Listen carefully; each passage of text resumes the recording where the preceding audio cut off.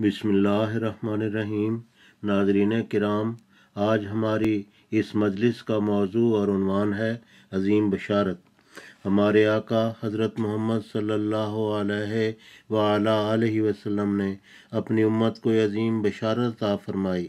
فرمایا، من حفظ علی امتی اربعین حدیثا فی امر دینہا بعثہ اللہ تعالی فقیحا وکنت لہو یوم القیامت شافع و شہیدہ یعنی جس شخص نے میری امت کے لوگوں کو سنانے اور سمجھانے کے لیے چالیس حدیثیں یاد رکھیں جو کہ دین کے متعلق ہوں، اللہ تعالیٰ قیامت کے دن اسے فقہا اور علماء کے زمرہ میں جگہ دے گا اور میں قیامت کے روز اس کی سفارش کروں گا اور اس کے حق میں گواہی دوں گا۔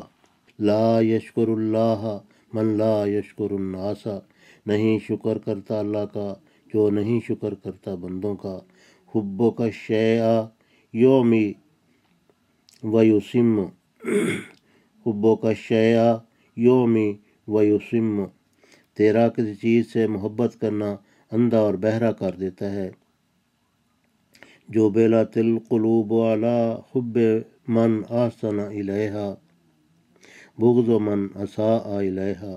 جو بلت القلوب علا حب من احسن الیہا، بغض بغض من نسا الیہا۔ جو بل، جو بلت القلوب علا حب من احسن الیہا، بغض من اسا الیہا۔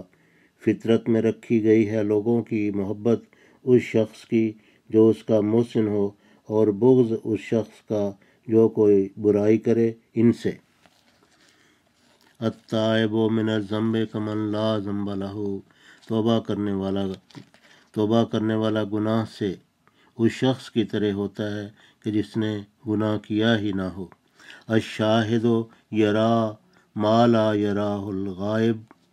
حاضر آدمی وہ کچھ دیکھتا ہے جسے غیر حاضر نہیں دیکھ سکتا۔ اذا جا اکم کریم قومن فقر منہ ہو۔ جب تمہارے پاس کسی قوم کا معزز آدمی آئے تو اس کی عزت کرو۔ الیمین الفاجر تو تدا دیار بلاقیہ۔ الیمین الفاجر تو تدا دیارہ بلاقیہ۔ جھوٹی قسم گھروں کو ویران کر دیتی ہے۔ من قتل دون والہ فہو شہید۔ جو شخص قتل کیا جاوے اپنے مال کو بچاتے ہوئے تو وہ شہید ہے۔